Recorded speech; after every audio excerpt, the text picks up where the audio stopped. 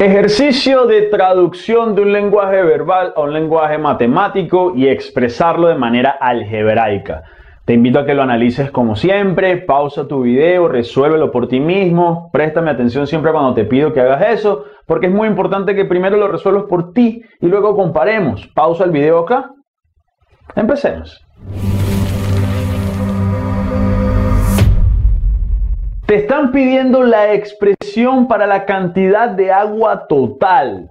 Entonces dice, ok, agua total. Hay tres recipientes A, B y C. Listo.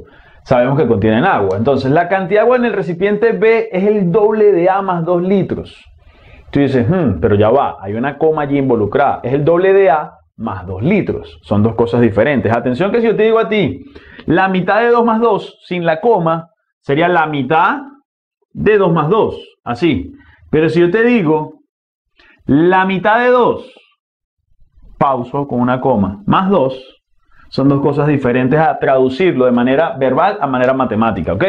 Mira, la mitad de 2 más 2, ok, la mitad de 2 más 2. Y si yo te digo la mitad de 2 más 2, mira cómo se escribiría, y son aquí 2 más 2, 4, entre 2, 2, y aquí 1 más 2 da 3. Dos resultados diferentes por una coma, entonces pilas con eso, ¿ok?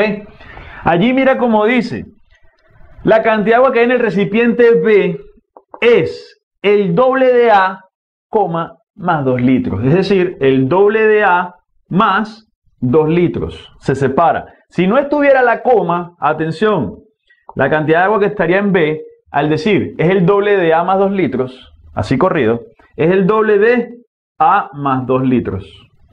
Pilas, aquí, la cantidad de agua que tiene el recipiente B es el doble de A más 2 litros. Aquí yo te diga, la cantidad de agua que tiene el recipiente B es el doble de A más 2 litros. La pausa es importante, ¿ok? Entonces, matemáticamente, mira la diferencia. Atentos a eso y aquí estamos trabajando así. Entonces, ya sabemos que esa es la cantidad de agua que tiene B, ¿ok? Ahora bien, después dice, la cantidad de agua que tiene C es la cuarta parte que hay en B. Ok, C es la cuarta parte de la cantidad de agua que hay en B. Y resulta que después, si X representa la cantidad de agua que tiene B, ah, bueno, entonces B tiene X cantidad de agua, directo, ¿no? Ahora bien, ¿cuánto sería la, la expresión total para el agua que hay entre los tres recipientes? Es decir, la suma de las tres cantidades. El total, para nosotros de acá, nuestro total sería A más B más C. Pero mira que las alternativas todas están en función de X. ¿Y quién es X? B. Conclusión, tú aquí donde está la B vamos a colocar X cuartos y C ya sabemos que es X cuartos. Esa es la cantidad que tiene C, ¿cierto? La cantidad que tiene B, la cantidad que tiene B es X por sí misma, X sola. ¿Y qué, cuál es la cantidad de agua que tiene A? Todavía no la tenemos. Mira que si aquí donde está B colocamos X, podemos despejar y saber cuánto tiene A. Conclusión, de aquí, mira lo que voy a hacer un momentico acá, de este que está acá, bajamos aquí y sería lo siguiente. Este 2 que está sumando pasa a restar. Sería B menos 2 es igual a 2 veces A.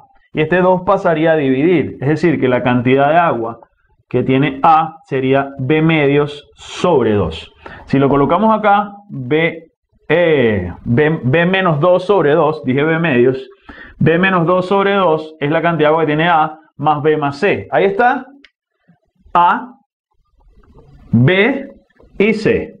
Ahora bien, si agrupamos todo eso, sabemos cuánto sería para nosotros el total. Vamos a agruparlo y trabajamos con una álgebra. Ahora es una expresión que hay que reescribir, ¿ok?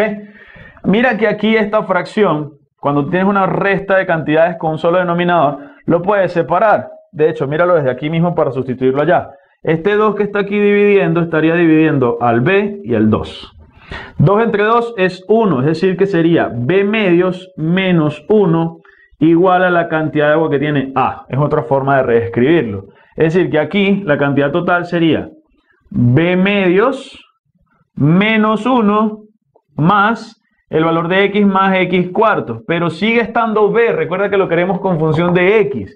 Es decir, no te preocupes, aquí donde está la B, yo desde hace rato creo que me estabas gritando, ¿verdad? Es una X, es una X. Yo estoy consciente que lo estabas pidiendo a grito. Bueno, ya te, ya te presté atención, ya te escuché. Me mandaste la información telepáticamente. Mira, y aquí también, donde está la B, es X. Y ahora todo queda en función de X.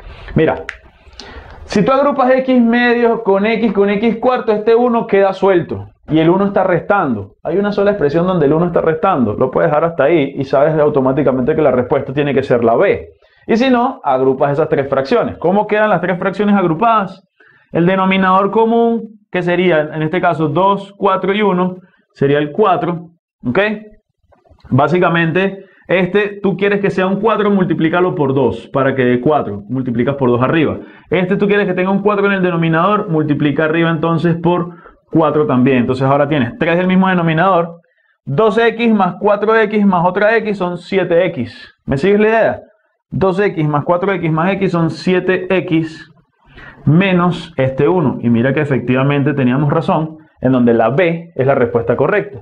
¿Qué hice aquí? Multipliqué por 2 aquí y acá para que sea el mismo denominador. Y aquí multipliqué por 4 abajo y arriba para que sea el mismo denominador.